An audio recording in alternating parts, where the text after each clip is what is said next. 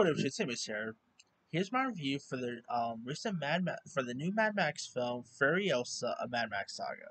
A little late to the uh, um, a little uh, late here because you know I just uh started you know, didn't have any time to last week, so I decided you know uh sit because after by the looks of the box office, uh looks like it'll probably be out.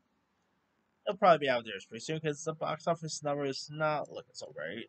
Uh, but now this is of course a prequel of the Mad Max saga, set 15 to 20 years before the events of Fury Road, in a desert a wasteland where warlords fight over the last of remaining sources of water, food, weapons, and gasoline.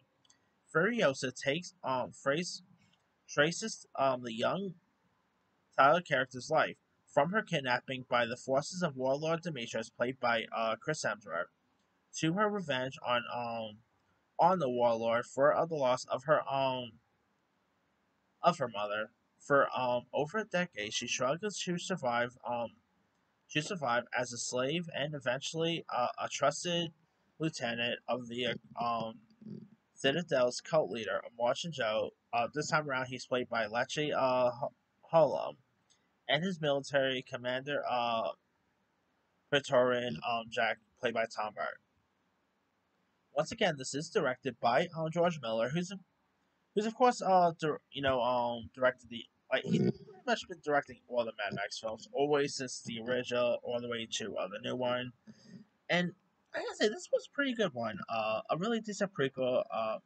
Anya Taylor-Joy again once was terrific. Uh, you also have Alyla Browning who portrays the role of um of the young Furiosa, and she is an actress to keep your eye out for. You know, she'll also be seen in the upcoming Sonic 3.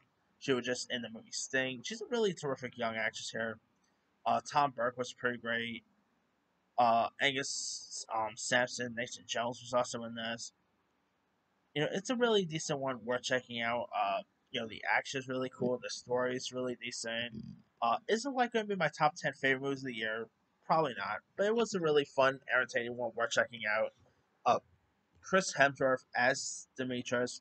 I want to see Chris Hemsworth do more villain roles because he, because he could do the villain role. Like, interesting him going from like a hero like Thor to a villain like this, and he is a tr- um incredible in this one. Um, it's a really fun one worth checking out.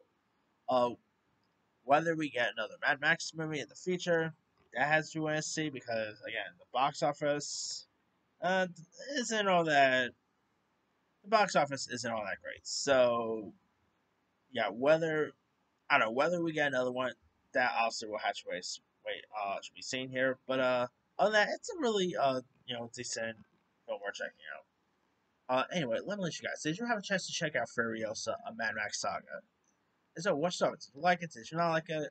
You know, are you even a fan of the Mad Max films? And are you hoping we get another Mad Max in the near future? Drop comments below. Don't forget to like, subscribe, hit that bell for notification. This is Timmy